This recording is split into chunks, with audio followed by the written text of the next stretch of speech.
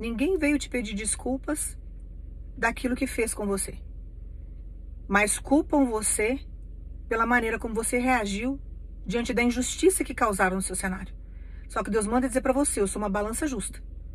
Podem te julgar de uma forma errada, mas eu estou julgando de uma forma correta. E eu vou trazer vitória e exaltação para o seu cenário. E você vai deixar essas pessoas que não te pediram desculpas, que não vieram te pedir perdão, nas mãos de Deus. Porque é Deus que vai humilhar. E agora, nesse processo, Deus vai entrar com exaltação. E você vai acalmar e confiar em Deus. Deus é justo. Deus sabe o quão tiraram você do sério, o quão testaram a sua paciência. E o quão paciente você foi diante de muitas injustiças que você sofreu.